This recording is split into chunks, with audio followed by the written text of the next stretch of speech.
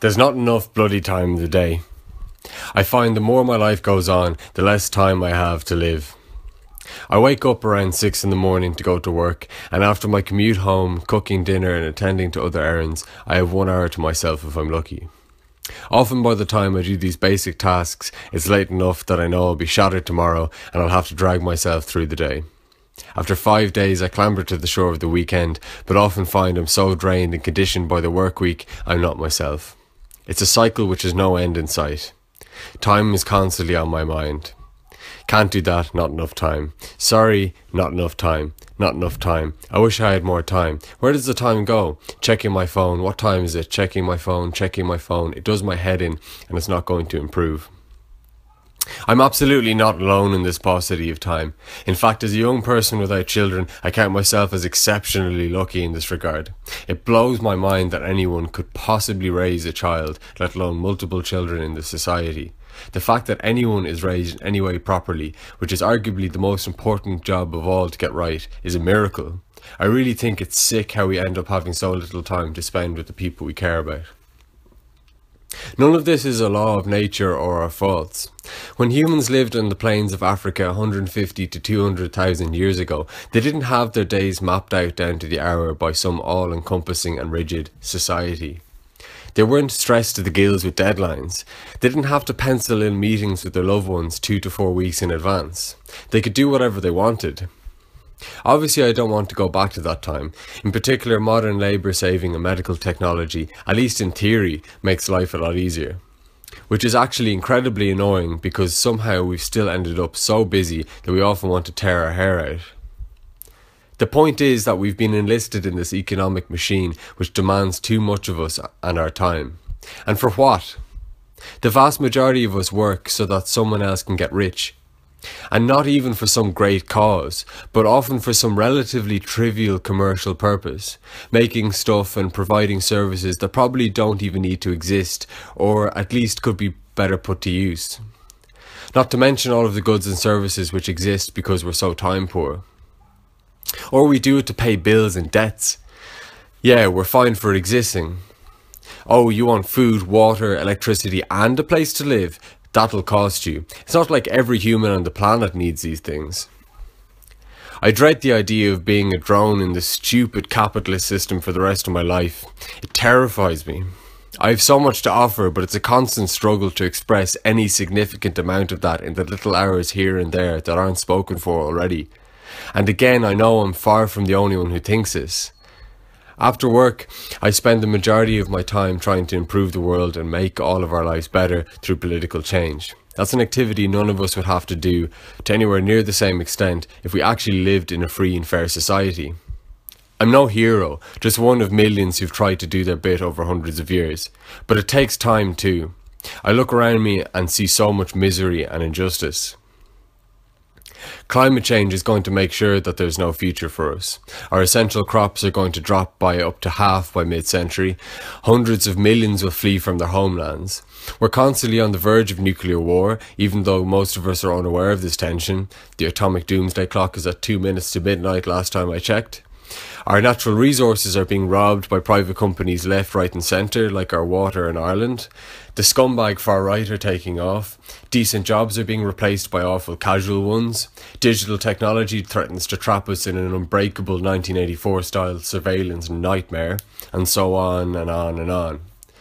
I wish more than anything I could spend all day fighting against this. We're so unbelievably fucked and we're running out of time. But instead, I'm forced to turn up to a desk each morning and do stuff that someone else decided, because otherwise I wouldn't be able to eat. It's infuriating.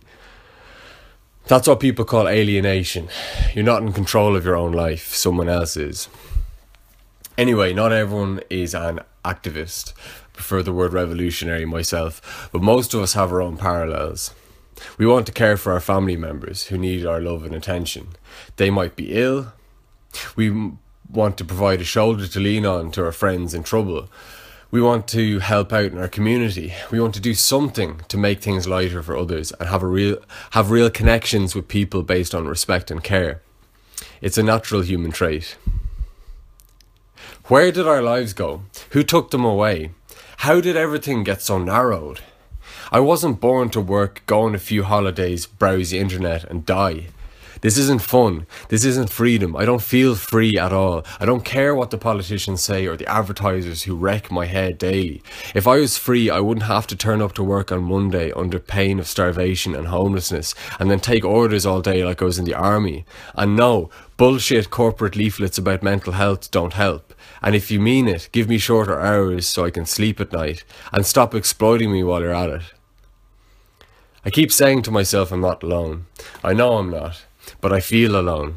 This capitalist society makes us feel so alone. I want to see my friends and have a laugh. I want to care for my family. I want to have a loving romantic bond. Did you know that younger generations are giving up on romantic relationships because of the demands of time and career? How sad is that? It's not because we're shallow monsters, it's because it's becoming barely possible. I want to be part of a community who work together and help each other be our best through thick and thin. Where is that? Where are our communities? Instead, it's just an onslaught of concrete and demands. They've destroyed them. Thank goodness for the water charges because the bastards made us come together and rediscover the meaning of community. I had a community once, in the Barricade Inn Social Centre on Parnell Street. That was probably the best time of my life, but the state ripped that apart and left behind an empty building. It would drive you to drink, and so many of us do. I'm drinking writing this. I have to do something to calm my brain. We do all sorts of things to escape our situations apart from drinking. Other drugs, sex, TV. It's an epidemic of escape. But ultimately, we never do escape. We just put it out of our heads for a few hours and keep going. Everything's grand. I feel like I'm in a crumbling temple. The people dearest to me are in trouble, wrecked on the thorns of this merciless conveyor belt world, and I'm basically powerless to help them. So many of the people I hold dear just can't cope. There's so much mental illness and anguish around me, and everyone. It reminds me of the song Under Pressure. It's the terror of knowing what this world is about, watching some good friends screaming, let me out. If only I had more time, I could make more of a difference. John Maynard Keynes was the most influential economist of the 20th century. His mission was to save capitalism. He wasn't the only one, but even as an advocate of capitalism, he predicted that by now we'd be working a 15 hour work week, uh, e.g., three hours a day, because of the massive advances in technology. We've had those massive advances in technology, and we've had them a hundred times over. Where the hell is our 15 hour work week? It's such a cheat. The technology has become so powerful that we can't even believe it's real, but we're still wasting our lives in front of computer screens and mucking about warehouses or whatever else. And even when the robots come, more so than they already are, that's not going to make us live better. It's going to screw us over. That's because profit becomes first, not happiness. If happiness came first, we'd have a society where the vast majority of us would have control. We'd organise so that we could spend time with the people we care about. We'd live in real communities. We'd do meaningful work that actually had value and which got, uh, which we got the full fruits of. But no, the working class are just bits of meat to push around so that the actual interesting and important people with all the property can climb higher on the economic scoreboard. There's no clear conclusion to this article. I'm so fed up and so are you. This isn't life. We have to do something. I firmly believe that we can create the beautiful free world we all want and deserve, where every voice is heard and we aren't grinded into pulp. Everyone who can withstand this madness at all inspires me. People have struggled for freedom who might as well have lived in hell itself.